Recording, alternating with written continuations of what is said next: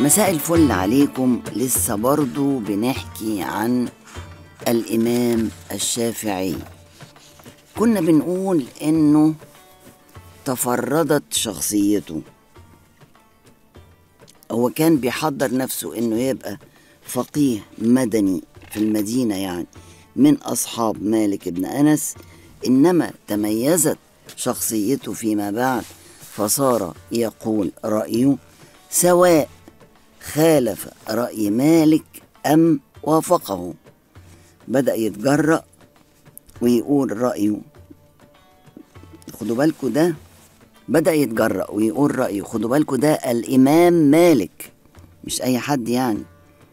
بدأ يقول رأيه سواء وافق رأي الإمام مالك أم خالفه. دون أن يتعرض لمالك نفسه بنقد. كان مؤدب جدا في نقده. ولكنه بعد ذلك وجد بعض الناس يغالون في أمر مالك ويقدسون آثاره وثيابه. وكان لمالك قلنسوة يتبركون بها في الأندلس.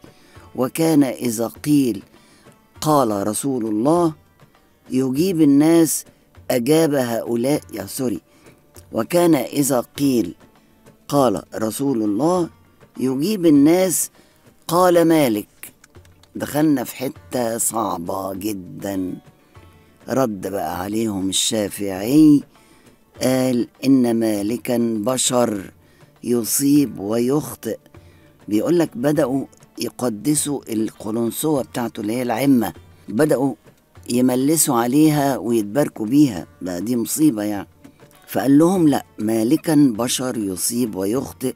وأخذ ينقضه ووضع في ذلك كتابا سماه خلاف مالك.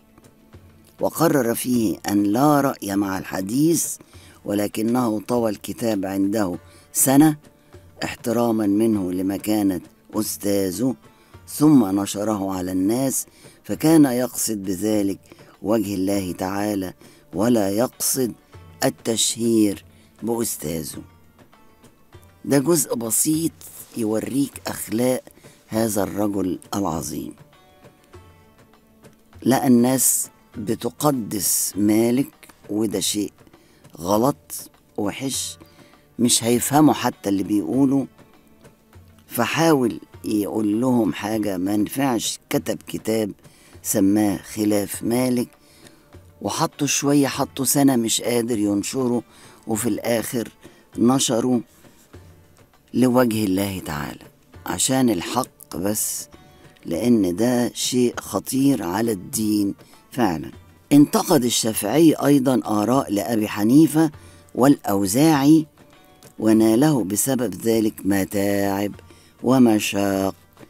بيقول الرازي أحد المؤرخين الناس كانوا قبل زمان الشافعي فريقين أصحاب الحديث وأصحاب الرأي. أما أصحاب الحديث كانوا حافظين لأخبار رسول الله صلى الله عليه وسلم إلا أنهم كانوا عاجزين عن النظر والجدل وكلما أورد عليهم أحد من أصحاب الرأي سؤالا أو إشكالا أسقط في أيديهم وأصبحوا عاجزين متحيرين. طيب هنقول بقى دول أصحاب الحديث. هنقول بقى أصحاب الرأي بس بعد الفاصل.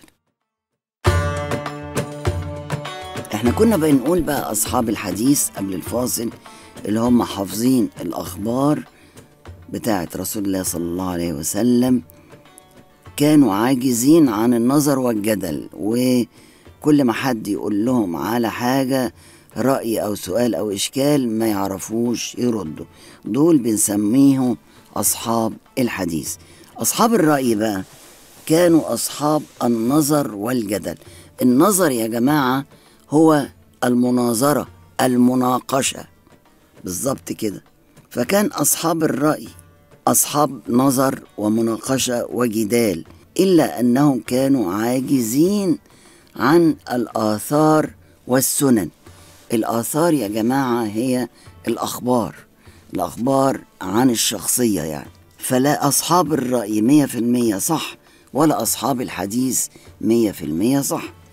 أما الشافعي فكان عارفا بسنة رسول الله صلى الله عليه وسلم محيطا بقوانينها وكان عارفا بآداب النظر أو المناظرة والجدل قويا فيه وكان فصيح الكلام قادرا على قهر الخصوم بالحجة الظاهرة.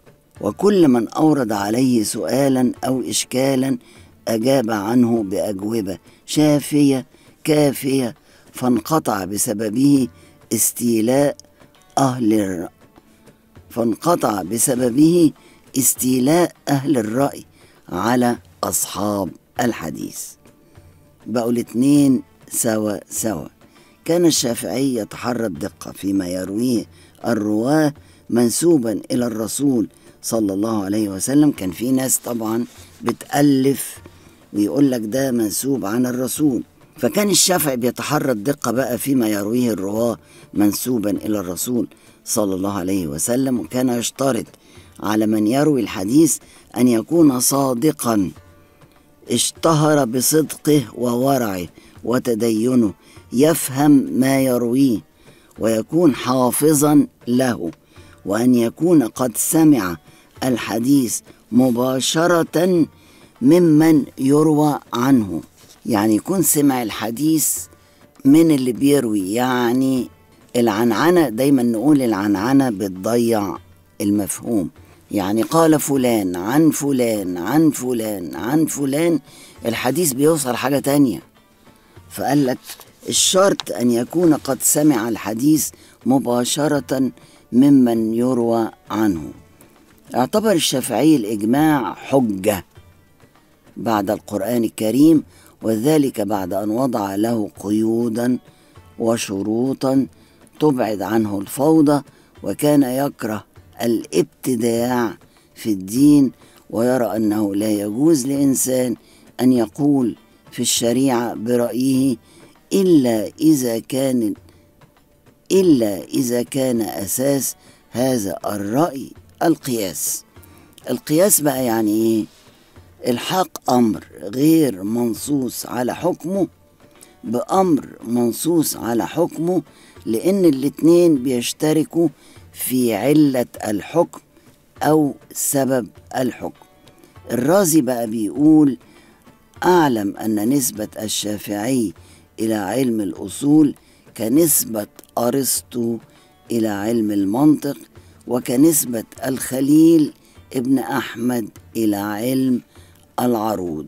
الجملة الحلوة اللي اتقالت دي إن نسبة الشافعي إلى علم الأصول زي أرسطو في المنطق وزي الخليل بن أحمد في العروض. الجملة الجميلة دي بننهي بيها حلقة النهاردة ونتقابل بكرة أجين ونتقابل بكرة مرة أخرى مع الإمام الشافعي.